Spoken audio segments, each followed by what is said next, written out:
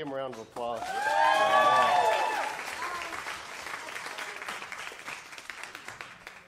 Man, it's good to see everyone here. Uh, I will tell you this morning, it may not be a feel good. It's, uh, it's one of those things where we know that truth sets us free. Can I get an amen? amen? And we need to hear the truth, and sometimes the truth does hurt a little bit.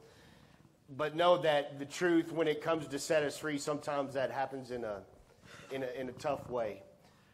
I will say this that as we start going over this scripture, understand that we're preparing for the Christmas season. It's December, and, and we're going to celebrate the birth of Jesus Christ. But I think a lot of times we've romanticized what the birth of Jesus Christ is. We actually kind of made it something that it's not. And so I just want to kind of get us right back into to the mode of understanding what has taken place. And Pastor Allen read a scripture about what Jesus said about John the Baptist. And understand within the Christmas story, before Jesus came, Isaiah spoke of one coming from the wilderness who will make straight the path for Jesus. Now, a lot of us, I have no idea what's making so much noise. Okay. A lot of us, if you're like me, I want to do great in the eyes of the Lord, right? I want, I want more of God and I want to be used by Him. And many of us desire this, if not all of us, we desire more of God. But what we don't understand and able to get more of God there has to be less of us. And that's why the sermon is called Decrease for Increase.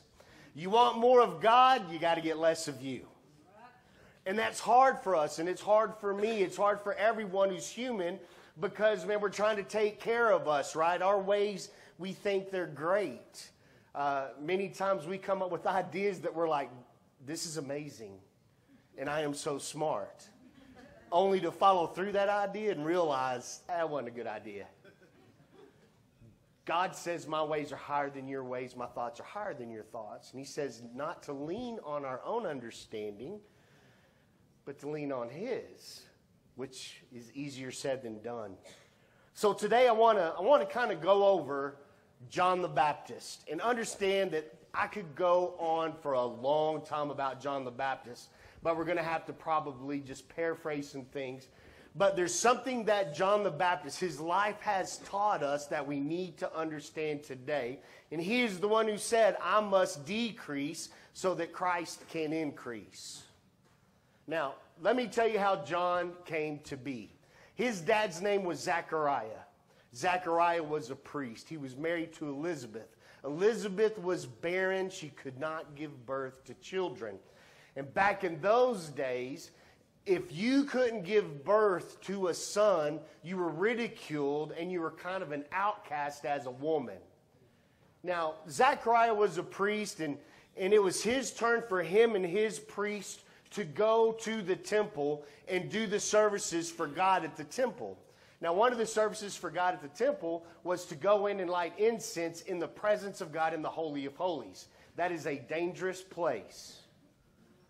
Because back then, theologians believe they used to tie ropes around the waist of the priests who were elected to go in and light incense just in case their life wasn't good, they would die.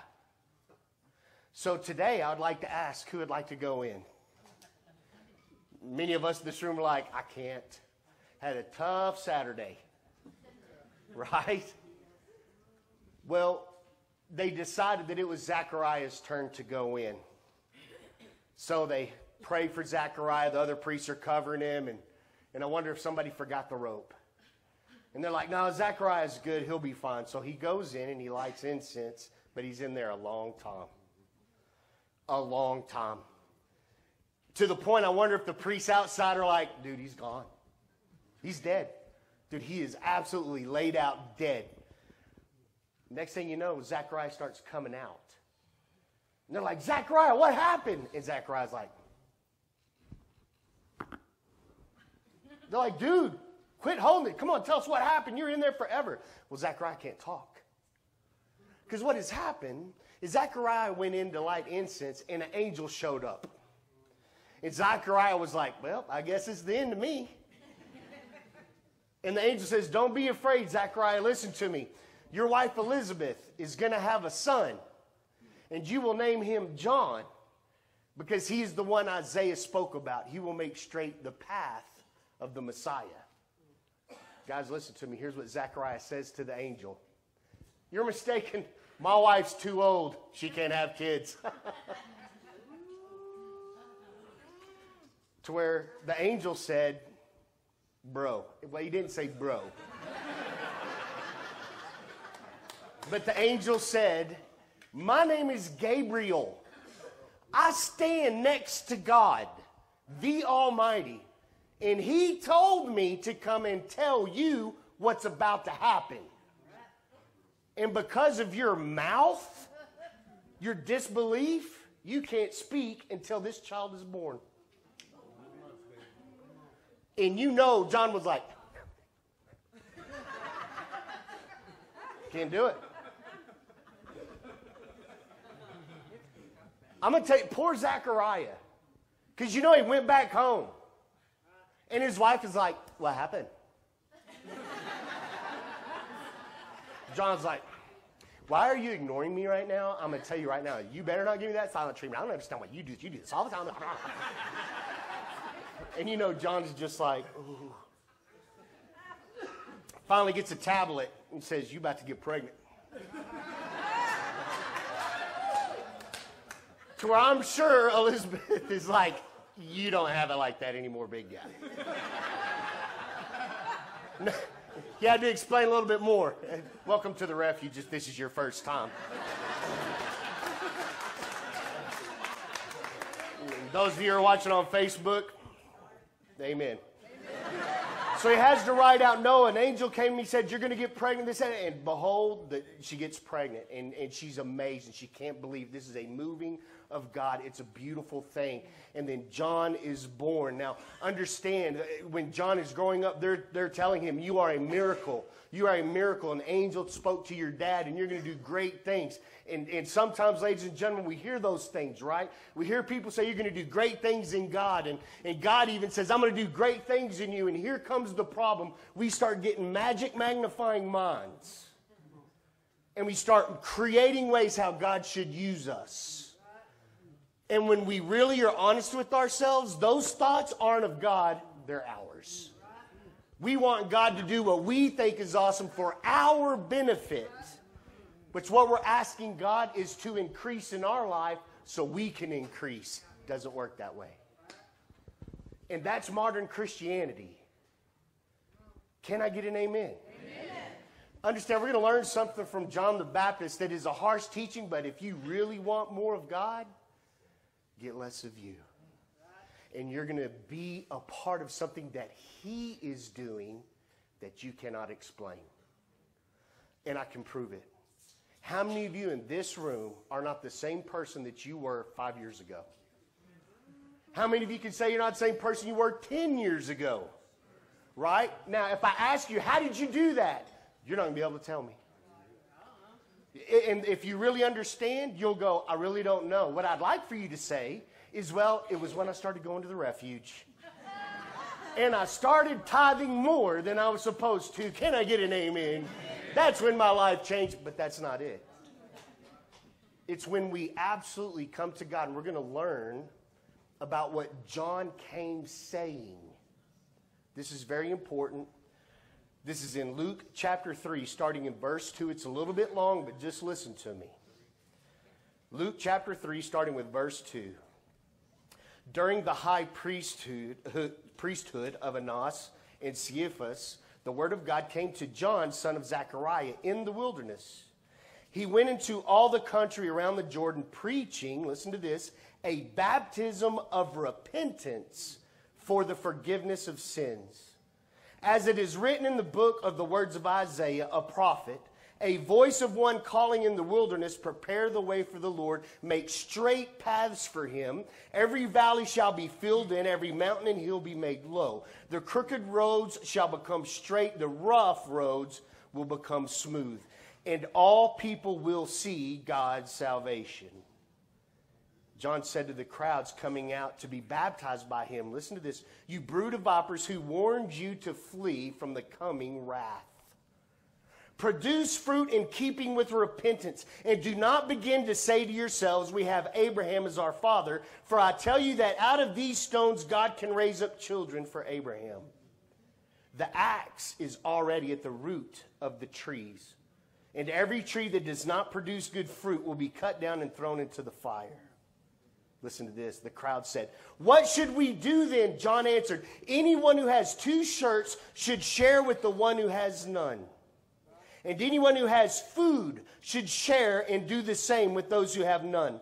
Even tax collectors came to be baptized. They said, Teacher, what should we do? He said, Don't collect more than you are required to, he told them. Then even soldiers came and said, What should we do? And he said, Don't extort money and don't accuse people falsely. Be content with your pay. The people were waiting expectantly and were all wondering in their hearts if John might possibly be the Messiah. John answered them all. He said, I baptize you with water, but one who is more powerful than I will come. The straps of whose sandals I am not even worthy to untie. He will baptize you with the Holy Spirit and fire. His winnowing fork is in his hand to clear his threshing floor and to gather the wheat into his barn, but he will burn up the chaff with unquenchable fire. And with many other words, John exhorted the people and proclaimed the good news to them. But when John rebuked Herod, the tetrarch, because of his marriage to Herodias, his brother's wife, and all the other evil things he had done, Herod added this to them all. He locked John up in prison. Now let's stop. I know that was a lot, but really look what happened. John comes out of the wilderness and he begins to say, The kingdom of heaven is here. It's right here. And it's time to repent for the forgiveness of sins. It's time to repent, right? And we, have heard this all the time. And, and what happened is people started coming to John and saying, Wait a second, you mean you can help us be baptized into repentance for the forgiveness of sins and we don't have to go through the religious people. We don't have to go through Jerusalem. We don't have to go through the priests. We don't have to go through all the things that we've been outcast from doing. But just hear me. Back then, the church turned into something it should not have ever been. The church turned into something it should never been. It was no longer about God's people. It was no longer about the hurting, it was about the glorification of the temple. To the point they were changing money at the church. And if you don't know what that means, they were selling things called indulgences. Which I'm telling you right now, if we were to bring that back today, Refuge would have no financial issues. Say, wait a second, what's an indulgence? Well, what an indulgence was, you go ahead and come to Refuge on Thursday. We're going to sell you a couple of doves for the junk you're going to do this weekend. And then you'll be freed up. You mean they're selling, quote, forgiveness before? Yeah. That's how bad it was. And so here comes John going, no. Come and be baptized, the repentance of sin, because salvation is here the cost is going to be paid. And the people came they said, Even for us, John? Notice he said this to them You brood of vipers, who warned you to come and escape the wrath of God? How many of you think those are offensive words? Right? You're like, You brood of vipers, right? Don't even like snakes. But here's what he was saying Who told you to come and repent? And that's important. Because the Holy Spirit, listen to me, whether you're a believer or not, is always moving. Amen. Moving with the conviction of love Amen. to bring you to repentance. Some of us call it um, kind of our conscience, right? We like to call it that. Sometimes we think it's an angel or a devil on our shoulders. But the truth is, the Holy Spirit is always saying, if you're listening, and even sometimes when you're not listening, don't do that. Some of you in this room will say, Sure wish I would have listened. It has saved me a lot of trouble. Don't do that. Repent. Come back. Right? And I'm not here to force you to come back. It's your decision. But don't come back unless it's time for repentance. You see, here's something that I, I just learned this week, and it, it messed me up. Because my birthday was this week, and I turned 50. No, shh. I had a problem with turning 30, and I had even bigger problem turning 50. And here's why. And I'm going to be very transparent with you. Shut your mouth, Brad.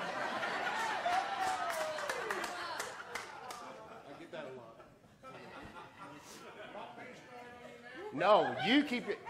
Watch him. Give him his pills. Once again, if this is your first time at Refuge, welcome to Refuge. You know, if, you, if you're not getting picked on here, you're not loved. But anyway, here's the reality of it. I'm a very, I, when I get to these points, my brain looks back and I'm my worst critic right? Because I've always had plans, and in my mind, I'm like, you got to be, you got to be here, and you got to be here, and by this time, this is, has to happen. And if it doesn't happen, then you're a failure. And I beat myself up all the time by going, I should be better, I should be better, I should be better. And man, I finally got to the point this week where I was like, God, what, what is the deal? And God says, man, you're either going to listen to me or you're not, Travis. He said, I was telling you this when you turned 30 and you haven't learned it yet. Quit comparing yourself to other people. It's not about who you become in the world, it's about who you become in me. Amen. And it's hard for me, right? Because I'm always comparing myself to somebody else. And it, it, really is. It's, it's a culture of comparison, and it, it, it's a tool of the enemy that I just jump into all the time. Now, hear me on this. There's been many times I've gone to God and said, I'm sorry, but I didn't repent. There's a difference between telling God you're sorry and repentance. And I'm here to tell you if you don't understand that Christ died on the cross so that you can repent, which means change your behavior, which means turn from what you were doing. To repent is to come and say, I am sorry, Lord, and I declare, not, I'm not even use the word declare, I choose out of my own will to change this behavior. Now, how many of you in this room, including myself, have tried to change your behavior and it just didn't work out? I, this is going to help you out so much. He is the changer of your behavior. Your job is to believe that you can be changed. Now, follow me here. Here John is, and he is telling them it is more than just performing. It is more than just going to church. It is more than just singing praise and worship songs. It's more than getting an emotional feel. It's about repentance at the cross. Because you can't trust who Jesus is unless you understand that he came to change your life. He didn't come to create a nice culture for you to exist in. To where you're now you're now popular and people see you as something awesome and, and you're spiritual, right? And it seems like in our church today, it's all about self-glorification. I saw it the other day. The, the title of the, the meme or the TikTok, whatever it was, said, uh, waitress gets $1,300 Christmas gift. And she cries. And I was like, this is awesome. These two idiots were filming themselves, glorifying themselves, embarrassing this waitress. And they wanted to show the world how awesome they are. And I'm here to tell you right now if that is what you are wanting to do, is to show the world how spiritual you are, you need to watch out. You don't even know what the cross is. You're chasing your self gratification. I'm going to tell you this right now. If those guys are really doing that for the love of Christ, then she wouldn't have even known who gave her that money. Amen. That they didn't have to be glorified because it's not about them.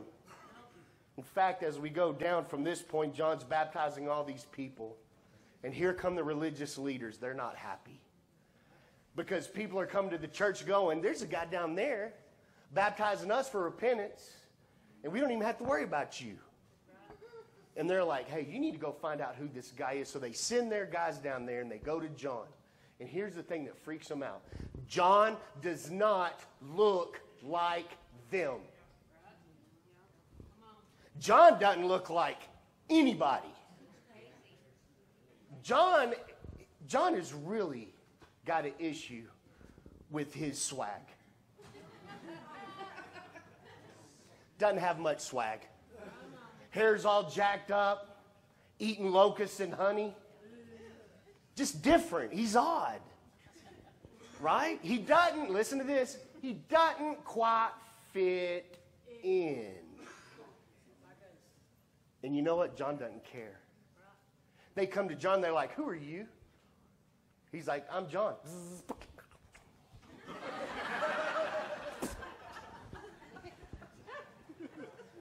I don't know if that was that kind of locust that he ate, but I think that's funny. and like, Who are you and why are you baptizing? And they ask him questions Are you the Messiah? And he's like, No, no, no, no, no, no. And they go, Are you a prophet? And he's like, No. They even ask him, Are you Elijah? And he says, No, I am not Elijah. And they went to him and they said, Then what gives you the right to baptize with water if you're not any of those things? And he began to say this I am not him, but he is here. He is among you. You don't know him. And even John said this I didn't even know him. And I think what John was saying was, and if you don't know this, Jesus and John are related they're related. And once again, I'm just going to give a plug for our Wednesday nights. Come during December to Wednesday nights because we're going to break this thing down. Yeah. Now, understand this. They're related. And there had to come a time when John was like, I know what my parents are saying who I am, but I really don't know if this Jesus guy's really who his parents say he is. But then God showed John the one the Spirit settles on, that's the Messiah. And that Spirit settled on Jesus. And the thing is, John knew, and that's the dude that is going to die for you and me. And the religious leaders didn't like it. So they're trying to mess with John. And John says, Man, I can't even tie this guy's sandals. I baptize with water. Listen to this. He baptizes with fire, man. He's going to set you on fire. So listen to me. If you, if you want to come to this church, I'm so glad you're here. But if you expect to come to this church and just become a good citizen of Christianity, it's not going to happen. We want God to deal with us as He sees fit. We want Him to break us if He needs to break us, set us on fire if He needs to set us on fire. I know this for all of us Lord, help us decrease so that you may increase. You see what happened after that is John's baptizing and Jesus comes in and John stands up and says, There's the Lamb of God. That's the one. And a lot of his disciples left him and followed Jesus. And some of his ride or die disciples said, This isn't fair. Why are you letting them go to that guy? And John said it I must decrease so that he may increase. Oh, ladies and gentlemen, may we have that heart today. Lord, it's not about me, it's about you. And I don't care if people like me here or not. I don't care if I'm ever seen or not. I don't care about any of these things. I care about you because I come to your cross of repentance. You know what's really sad is many of us, including myself, don't understand what that cross of repentance is because we'll go to his cross and we'll bring our issues. We'll go to his cross and we'll complain. We'll sit there and say, Lord, why did you let that happen to me?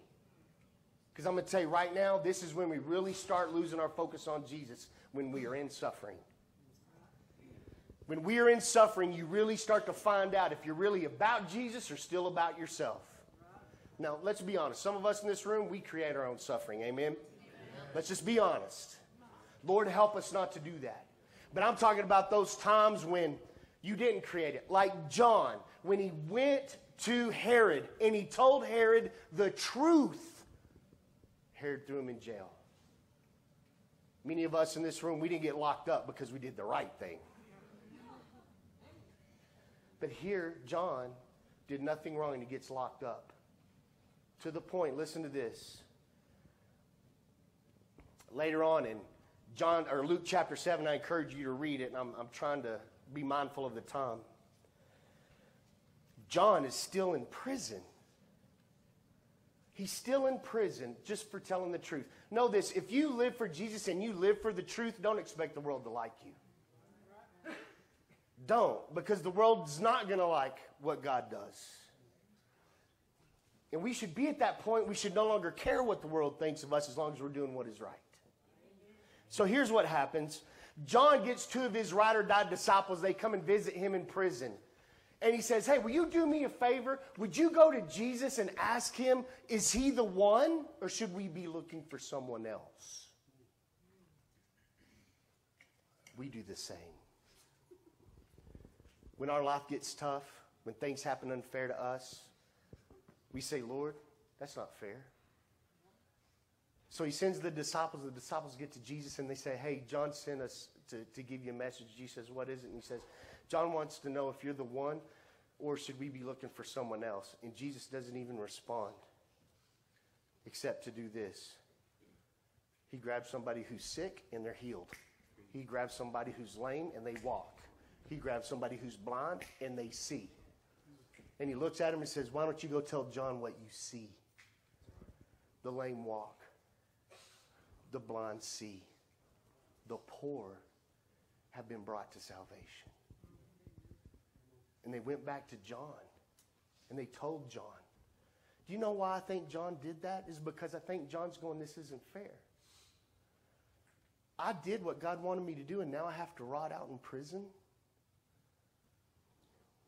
Maybe so. Some of us sit there and go, Well, I'm not going to sign up for that. Then okay. It's your choice. You see, it's is unpopular to preach today. Who we, we say, Who will live for God? Yay, I'll live for God. Who will suffer for him? I don't have to suffer. My God wouldn't want me to suffer. Which God you serving? Because in this world you will have trials and tribulations. James says, Count it all joy when you go into trials and tribulations, for God is perfecting you in those. Doesn't mean He put you in them, but it means when we're in them, we have a duty and a privilege to praise God when things don't go our way. Man, it got me this week. It got me this week. When things don't go my way, I should be praising His name because I'm not defined here. And I wish I could tell you that, man, once John understood this, man, the jail opened up and he floated out. No, he was beheaded. He was beheaded because uh, they put his head on a silver platter to give to the guest of a king. It's not fair. But who is going to go to God and say, it's not fair? Right? Some of us in this room will yell at God, Why did you let me get a speeding ticket? Because you're speeding. But some of us, listen to me. Why did I get cancer? Why did my family member have to die? Why did they die and they live? It's not fair. And Jesus says, Don't talk to me about fair. For if I give you what is fair, you will need to go build a cross and nail yourself to it. I have come to give you salvation, but don't ever think it's cheap. When you come to the cross, you will get grace. Can I get an amen? amen? You will not get condemnation.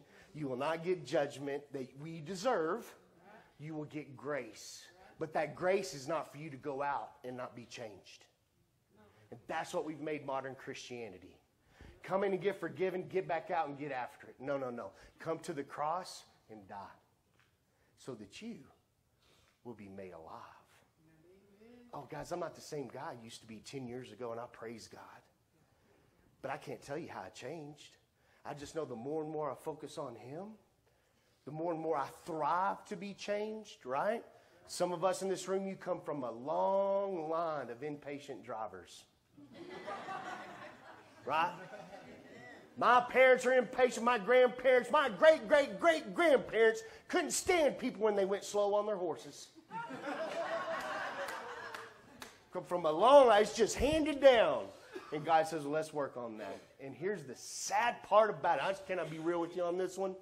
If I go to God because I've experienced this and I say, Lord, help me to be patient in traffic, you know what? I'm going to catch every yellow light. Everybody in front of me is going to be slow. And the person on the left side of the lanes is going to need to turn right at the one time. And so I have to tell myself before I leave the house, may I decrease so that you may increase. Father, it's not about me. I use these things and we laugh about them because they're small, but I'm here to tell you right now. He has called you to his cross. For such a time as this, he has called you to his cross. And I guess if we were a real church, Pastor Allen, and I was a good pastor, we'd have this great altar call. We'd have the band come up and we would sing and we'd get emotional. We'd come down. I'm not saying there's anything wrong with that. I'm just here to tell you for here, it doesn't work like that. Because it either is real for you or it is not. It is not me and it's not my job to enforce you to do that. It's not me to try to pull your emotions out of you. It's my job to say, here's the word of God. What do you choose? But I'm here to tell you this today, if you feel like, man, I need to quit telling God I'm sorry, I need to repent, then you need to come to me or Pastor Allen or Pastor Brian at the end of this service. And we're going to walk it out. Now, here's the thing don't be coming up to me to go get coffee. Saying, we're going to go get coffee. I'm going to tell you how bad my life is, and you're going to feel real sorry for me. No, I'm going to kick you. spiritually. Spiritually. Because there's never been a time that I went to God about how hard my life is that God didn't say, You're the problem. You need to hear that. And there's been many a times I've taught, I've brought to God, Lord, help me with this person right here. Change them. And God's like, No, I need to change you. Lord, I'm not here to talk about me. I'm here to talk about them. It's called intercessory prayer, Lord. I'll bring them to you and you deal with them. God's like, no, I'm dealing with you. Because when you come to my cross, it is me and you. You can bring to me all your cares because I care about them. But it's going to be about you and me. And you're going to learn to trust me you're going to learn to be obedient to me. And in that, you will find life that you can't even fathom. That you'll start changing in ways that you tried but didn't know you could. And as you go, all you can do because you're so full of His joy is have a heart full of gratitude instead of complaining. Now, if you're ready to go on that journey, Refuge is here to walk it with you. You need to walk it with me. We are God's refuge. May we be a church and a people who are not afraid to repent. Say, Lord, change me. Some of you in this room right now, you've been changed so much where you came from, they don't even recognize you anymore. But they still talk noise. It's not real. They're going to mess up again. That's fine. I don't care what the world says. I just focused on what God says. Pastor Allen, go ahead and come up. Know this, ladies and gentlemen. Jesus spoke about John. See, because the prophet Isaiah said that Elijah must return before the Messiah, and they hadn't seen Elijah. So his disciples went up and they said, Hey, where is he? And Jesus said, Out of every person born of the flesh, there will be no greater person than John. Nobody's better than John. On your best day, you don't even come close to John. And you know what Jesus also said? Even the least in the kingdom of heaven will be greater than John. It's not about here, it's about there. So may we say, Father, may I decrease so that you can increase. Amen. Amen. Pastor Allen. Stand with me.